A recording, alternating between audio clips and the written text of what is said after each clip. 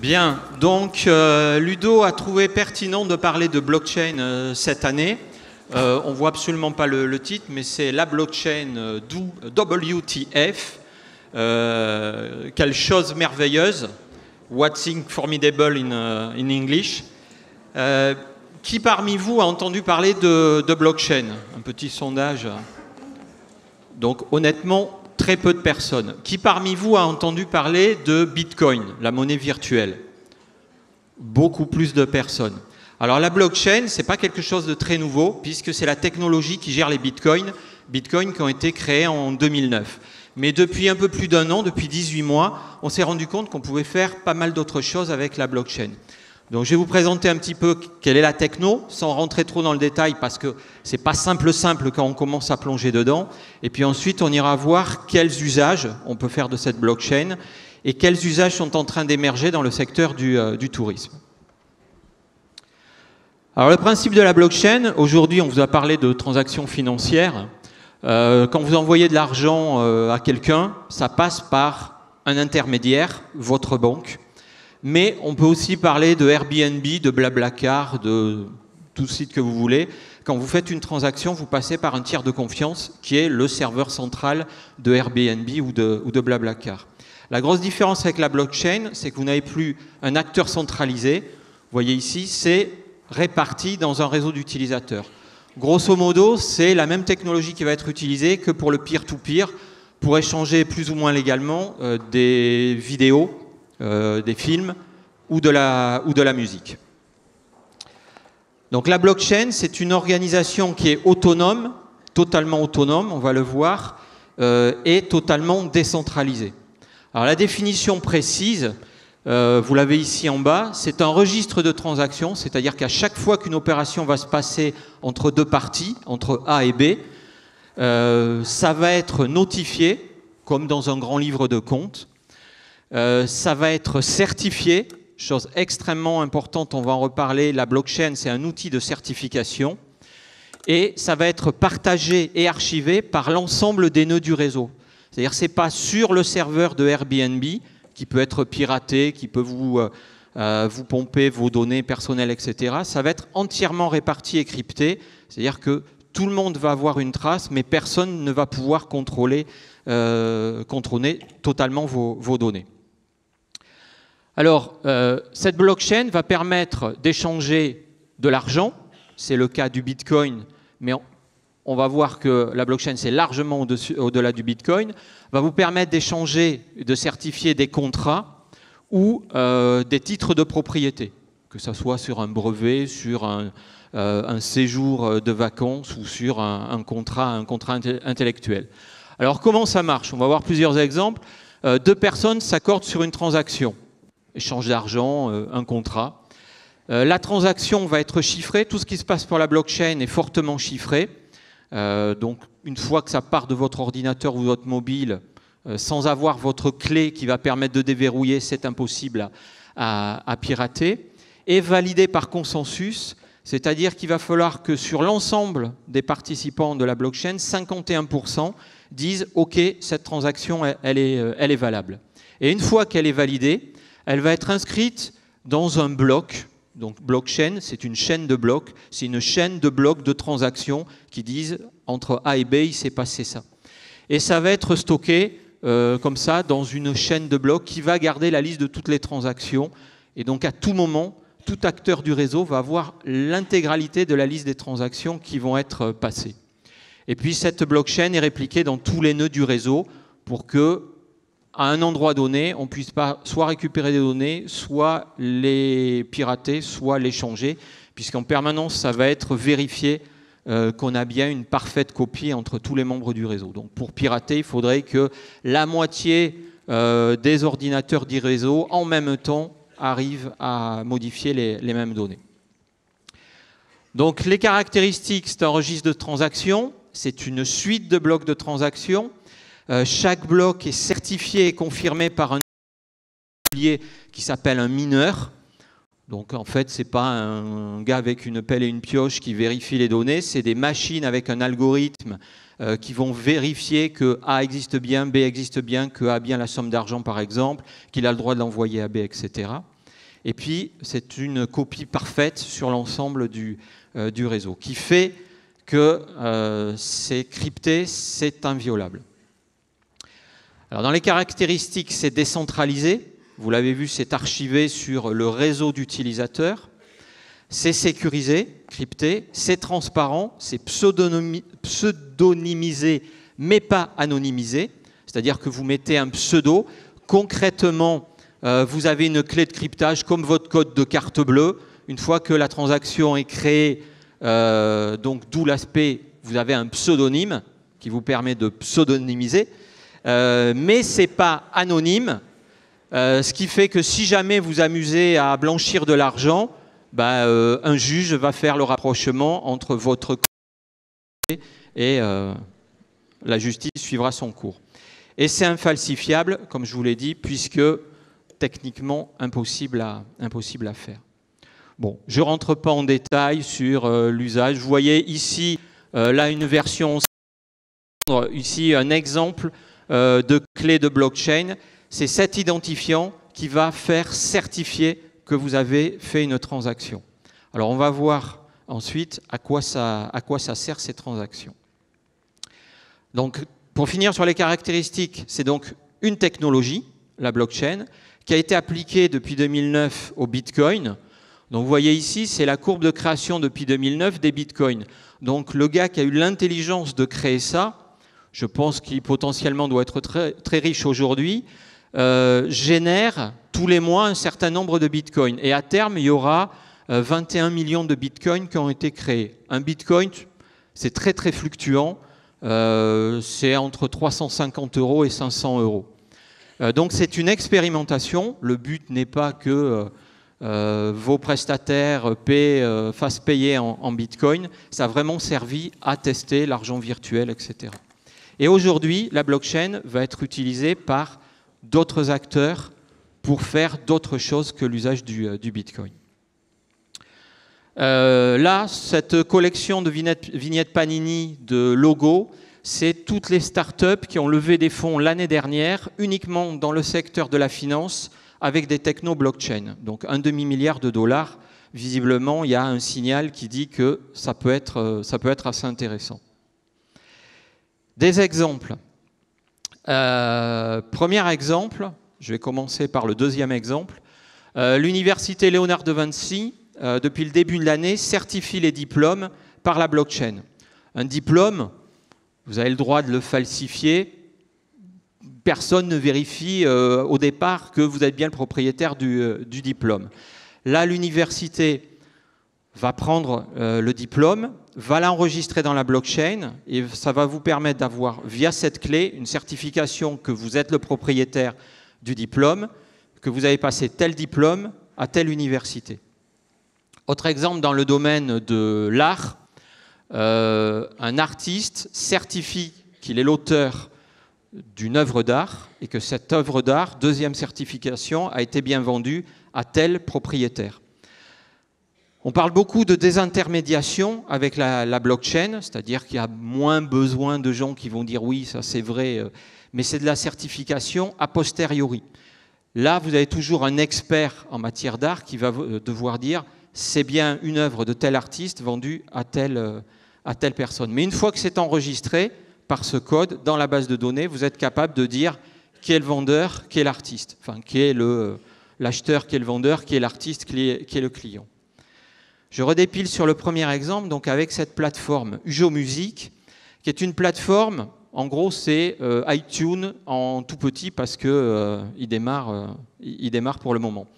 En termes d'usage, ce qui est intéressant, c'est que, grosso modo, c'est comme iTunes. Vous avez une plateforme, vous allez choisir le titre d'un artiste, payer normalement, pas avec du Bitcoin, avec de l'argent normal, et télécharger un morceau de musique. Il y a une petite particularité, mais là c'est en termes de service, c'est que vous allez pouvoir acheter euh, juste la ligne de basse ou le morceau en acoustique, et qu'il vous dit que quand vous achetez un dollar, 20% euh, part au compositeur, 50% à l'interprète, 5% euh, à tel musicien, 5 autres à tel musicien.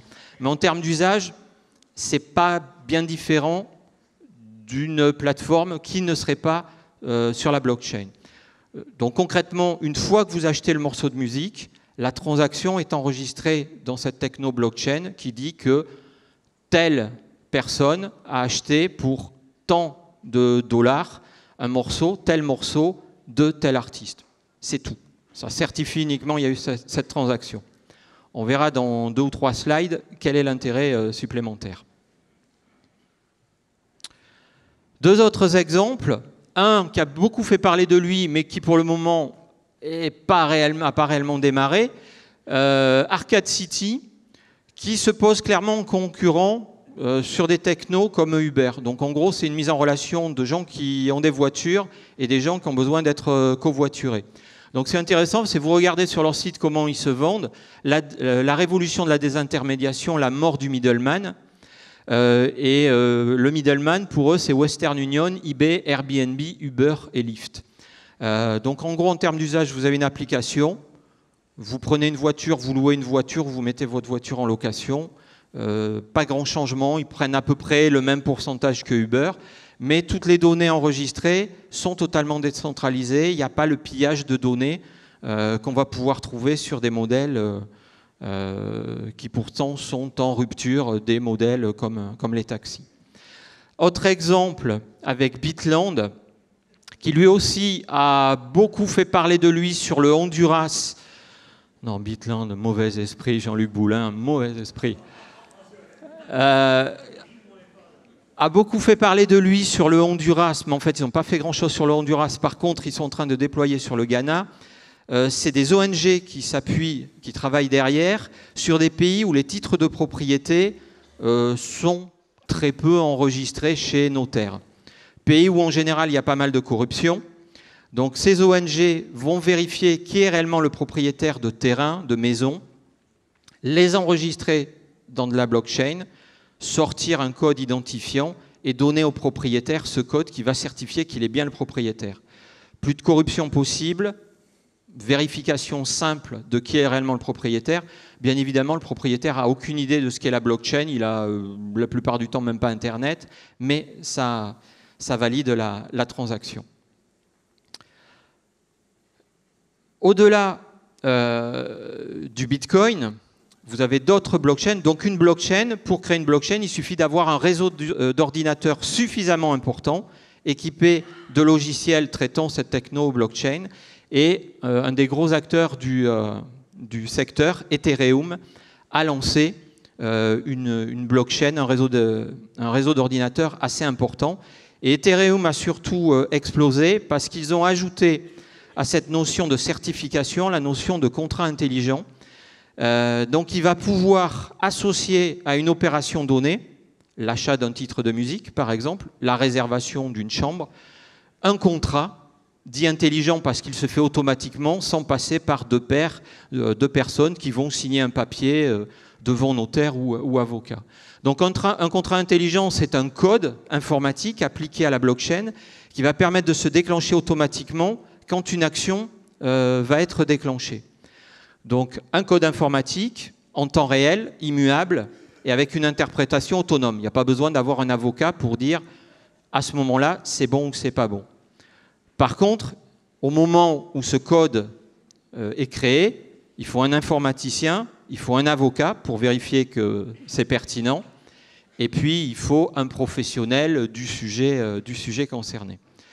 Alors je reviens à l'exemple de Ujo Music, la plateforme de musique. À quoi ça va servir d'avoir un contrat intelligent?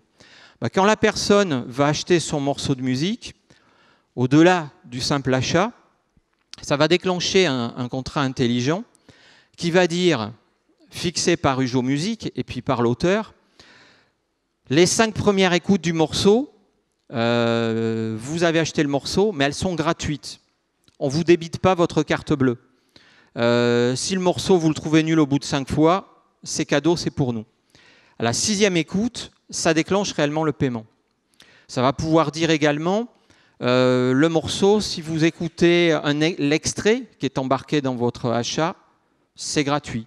Ça va pouvoir dire euh, si vous l'écoutez sur euh, le même réseau familial, c'est le même prix pour tout le monde. Par contre, si vous l'écoutez à votre bureau ou ailleurs en soirée, vous devez repayer. Et là où ça devient vraiment beaucoup plus intelligent, c'est que si ce n'est pas un particulier qui a acheté, mais c'est une radio, ça ne va pas être un dollar de débité, ça va être 0,01 dollar au titre de la diffusion euh, d'une œuvre artistique. Et là, vous comprenez sur la désintermédiation l'impact que ça va avoir. La euh, qui fait de la répartition au doigt mouillé en fin d'année, euh, bah là, vous allez avoir réellement qui a écouté quoi et avec une répartition précise et exacte auprès de, chaque artiste. Donc là, on a vraiment cette notion de, euh, de contrat intelligent. Alors d'autres exemples, dans le monde de la banque, Abra, qui est une start-up, euh, qui s'est dit ben, on va reprendre l'idée de l'échange de Bitcoin, des portefeuilles de Bitcoin, mais on va le faire avec de l'argent normal, des euros, des dollars, des, euh, ce que vous voulez. Euh, il vise essentiellement des, des pays où le nombre de comptes bancaires n'est pas élevé. donc vous allez dans une officine qui va servir de transaction, vous amenez des billets, des vrais billets de, votre monnaie locale, et eux vont vous les basculer en argent virtuel dans un porte-monnaie électronique. Et une fois que c'est embarqué sur votre téléphone, il n'y a pas forcément besoin d'avoir des smartphones, ça marche avec de l'échange par SMS. Bah, tant que vous échangez entre vous, que vous vous payez, euh, vous payez une facture, vous vous faites payer euh, des produits euh, que vous vendez, bah, ça reste dans ce circuit fermé. Et donc là aussi, des intermédiations des banques notamment, qui se prennent plus des pourcentages au, niveau du, des transactions financières. Et si vous êtes vendeur et que vous avez amassé pas mal d'argent, bah, vous repassez dans une de ces officines qui fait la passerelle entre le monde réel et le monde virtuel et vous récupérez avec des vrais billets l'argent euh, que vous avez en virtuel et qui vous est débité de, votre compte. Donc forcément, ça fait quand même un peu peur aux banques, bien qu'il ne faut pas être idéaliste. À la fin, les banques rachèteront euh, ces acteurs-là et ça reviendra euh, chez eux. au mois de juillet, un texte a été voté en France qui est passé un peu inaperçu, euh, l'ordonnance relative à l'autoconsommation d'électricité, donc 27 juillet 2016, qui est en, gros ce, ce, que les spécialistes appellent le feu vert gouvernemental euh, à la blockchain électrique. Donc de plus en plus d'acteurs produisent leur électricité, de particuliers, panneaux solaires, éoliennes. Euh, aujourd'hui, c'est essentiellement racheté par EDF. Avec cette ordonnance, vous avez toutes les bases légales pour l'autoconsommation euh, l'autoconsommation collective, c'est-à-dire que ce que vous produisez en électricité en trop, c'est une grosse éolienne ou euh, vous avez un gros toit au soleil, vous allez pouvoir vendre votre électricité. L'autoconsommation collective, c'est vous êtes dans un quartier, vous êtes dans un village, vous allez pouvoir vous regrouper pour vendre votre électricité et établir des prix en commun pour la revente à des fournisseurs d'énergie. Donc ça va favoriser l'émergence d'une multitude de micro-réseaux décentralisés d'énergie. Et la blockchain est l'instrument que tous les spécialistes disent parfaitement adapté pour faire ça, puisque ça permet euh, des micro-transactions financières, parce que vous allez vendre euh, 2 euh, kW équivalent à 3 heures d'ensoleillement euh, que vous avez en rab sur votre production, ça va être à chaque fois des micro-transactions. Euh, rémunéré en temps réel avec de l'échange et stocké dans une blockchain qui va certifier que vous avez euh, vendu tant de kilowattheures ou acheté tant de kilowattheures. Également, euh, intégration dans une blockchain des objets, où vous allez avoir de plus en plus d'objets, genre une serrure de porte, un photocopieur, une porte qui s'ouvre, qui va envoyer des informations à des petits ordinateurs reliés entre eux dans une blockchain et qui vont permettre comme ça de gérer euh, un suivi, ouverture de porte, euh, nombre de photocopies, et avec des contrats intelligents derrière qui permettront de dire au bout de 5000 euh, photocopies, tu me rachètes du tonnerre ou tu changes l'imprimante, etc. Ou, dernier exemple, non touristique, dans l'assurance. Euh, le monde de l'économie collaborative, en général, c'est des micro-paiements. Vous louez quelques euros, quelques centaines d'euros. Ça, ça marche bien, le paiement. Par contre, l'assurance, bah, votre camping-car, votre bateau, votre euh, chien, que vous pouvez louer quelques heures, euh, sérieusement, vous avez besoin aussi d'avoir un micro, une micro-assurance pour le moment où c'est mis en location. Alors, si on regarde maintenant, qu'est-ce que ça donne dans le monde du tourisme? Bizarrement, en général, le tourisme, on voit les premiers usages apparaître dès qu'une techno arrive. Curieusement, sur la blockchain, ce n'est pas le cas. Euh, c'est le monde bancaire, c'est le monde de l'assurance, c'est assez logique puisque ça dérive du, euh, Bitcoin. Mais euh, c'est en train d'arriver, depuis quelques mois, on voit arriver pas mal de, start-up et de plateformes qui sont en train d'arriver dans le monde du, du, tourisme en intégrant de la techno blockchain. Alors, premier exemple que j'ai rayé, on oublie sur l'aspect paiement. Je vous ai mis une chambre d'hôte ici qui permet, vous voyez ici, de payer en Bitcoin. Bon, honnêtement, ça sert à rien. Il y a quelques temps, le Bitcoin est passé, euh, le cours du Bitcoin d'un Bitcoin égale 350 dollars, euh, euros pardon, à euh, quasiment 600 euros. Donc, bon, on oublie trop fluctuant. Ça sert à rien. par contre, grosse arrivée d'acteurs qui travaillent sur la certification. Alors, vous avez euh, plusieurs acteurs dont j'oublie toujours les noms et euh, de manière hyper intelligente, j'ai mis ça en tout petit. Voilà, le nom qui est marqué tout dans le coin et dont j'ai un trou, euh, voilà, mais vous cliquerez sur la présentation et vous irez sur, sur le site. Donc, ce sont des acteurs qui vont permettre de lever le problème des faux commentaires sur TripAdvisor ou des commentaires de complaisance, etc et euh, ne vont pas certifier euh, la pertinence, la validité du commentaire, mais vont certifier et assurer la traçabilité du client qui pose le commentaire, donc de l'avis client. Euh, c'est-à-dire que pour poser des commentaires, il va falloir être enregistré dans une techno blockchain qui va certifier que vous êtes bien l'identité cachée derrière le pseudo que vous avez mis. Et là, vous pourrez poser des commentaires qui seront certifiés. Donc ça permettra de croiser facilement si c'est le beau-frère de l'hôtelier, etc., euh, etc. Donc ça aujourd'hui, euh, vous avez euh, deux, trois startups, vous avez les liens dessus qui sont pas mal positionnés là-dessus avec des intérêts assez évidents en termes de certification et de traçabilité des, avis clients. deuxième, deuxième, axe de développement dans le secteur du tourisme sur la fidélisation. carte de fidélisation, programme de fidélisation. Euh, certains disent que la facilité de gérer les programmes de fidélité, un, de manière transparente, ce qui n'est pas toujours le cas, euh, deux, en partenariat, parce que quand vous gérez un programme de fidélisation, vous n'avez pas forcément que euh, un seul acteur, mais un, un, groupe d'acteurs. Et puis trois, de manière informatique, sur des machines qui sont réparties potentiellement, vous imaginez le groupe Accor, le nombre de machines qui vont gérer euh, des avis clients, des euh, cartes de fidélisation, ben, la technologie blockchain va permettre une simplification et une baisse des coûts euh, à ce niveau-là. Je ne vous en dis pas plus, vu que je n'ai pas trouvé grand-chose de plus à raconter là-dessus. Et puis, dernier exemple qui, lui, décolle très vite, c'est tout ce qui est sur la billetterie avec notamment les problématiques de euh, certification de billets et de revente de billets, donc pour éviter le marché noir. Là, ça permet, euh, votre billet, vous l'avez acheté, il est certifié, vous ne pouvez pas aller sur l'événement, vous le remettez sur une plateforme, ça certifie que vous êtes bien le propriétaire, que ce n'est pas un faux et que vous pouvez le revendre à des conditions fixées par le propriétaire avec les contrats intelligents dont on a parlé. Soit c'est libre, soit c'est euh, une certaine valeur, etc.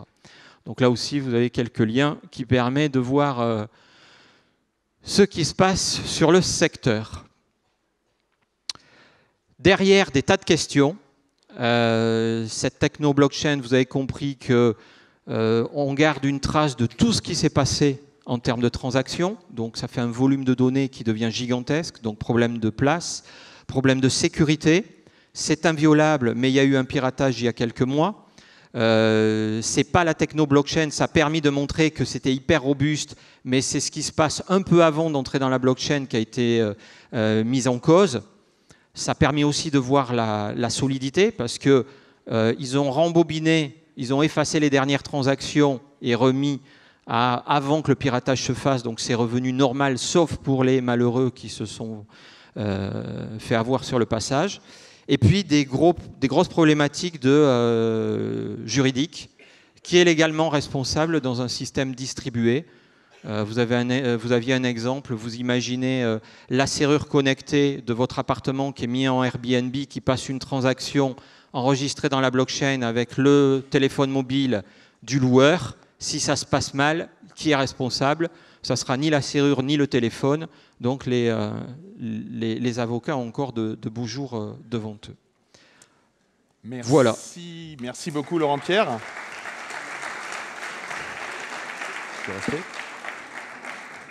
Ouais, c'est intéressant, je trouve qu'on parle de blockchain parce que, comme tu le disais, on n'en fait pas beaucoup dans le tourisme, alors que c'est un milieu où il y a de la distribution, beaucoup de distributeurs, il y a des paiements en ligne, il y a de la certification, on vient de le voir, tu l'expliquais. Et c'est vrai que ça reste encore, euh, pour l'instant, euh, très embryonnaire. Euh, et, c'est vrai que quand on voit le projet de, de Sweekly, on se dit aussi pour de la, certification de ce genre de micro-paiement, c'est vraiment ce qui fonctionne très très bien en ce moment. Oui, exactement. Ça aurait été une question à, leur poser. ce qui est intéressant, c'est qu'il y, a 12 mois, il n'y avait rien.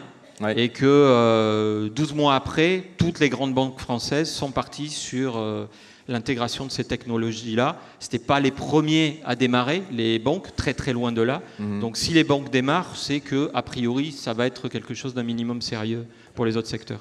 Ah, écoute, tu as tellement captivé euh, qu'il n'y a aucune question, les gens n'ont pas eu le temps. Ah, je sais. Euh, par contre, si vous voulez poser une question pour de vrai, genre avec un micro, etc., on en a aussi dans la salle, ça passe pas que par Twitter. Donc euh, vous levez la main si vous avez une question pour Laurent Pierre. Sinon, prenez un petit peu de temps pour digérer la blockchain. Euh, il a aussi des petits badges, hein, blockchain, si vous J'ai cinq badges. Euh, là, ça sera pour ceux qui auront vraiment pigé le, truc. Normalement, il y a cinq personnes parmi vous qui auront compris euh, la blockchain. il y en a quelques-unes qui ont décidé de définitivement quitter. Ils vont se jeter dans le, dans le gap de